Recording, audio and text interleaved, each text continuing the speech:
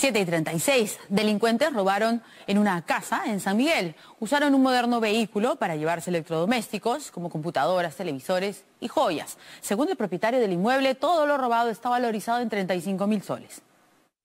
Así ataca esta banda de roba casas. Llega en un moderno vehículo y se lleva todo lo que puede. El atraco ocurrió en esta tranquila calle de San Miguel la noche del último sábado. Lo que se nota es que es una camioneta BMW, eh, es una camioneta lujosa eh, donde llegan todos los zampones. En 20 minutos, los delincuentes se llevaron tres computadoras, cuatro televisores, joyas, una bicicleta y varios objetos de valor. Todo por un monto de 35 mil soles. Primero fue sorpresa de saber la hora en que lo habían hecho, 8 de la noche. Eh, porque pensé que había sido la madrugada. Y luego, bueno, indignación de ver cómo van subiendo su camioneta objeto por objeto, ¿no? Observe este auto. De pronto, la banda entra en acción. Los ladrones se desplazan, coordinan y luego ejecutan.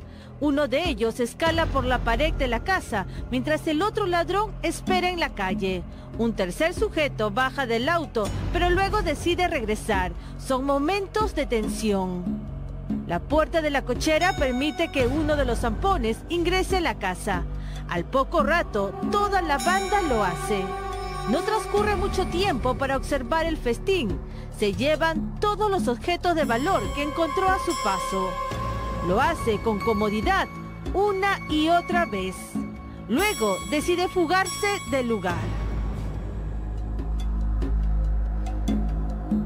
Para cuando llegó el propietario de la casa, el espectáculo era de terror.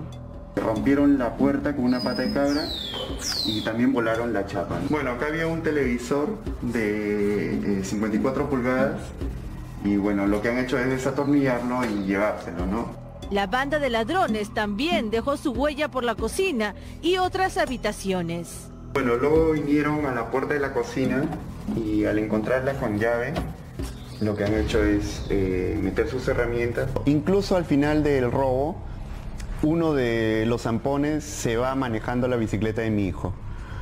Eh, con total naturalidad. La víctima demandó más apoyo de las autoridades.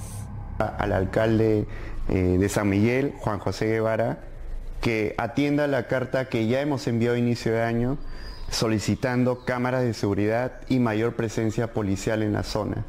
La investigación está a cargo de la Divincri San Miguel. 7 y 39. Esta hora nos comunica.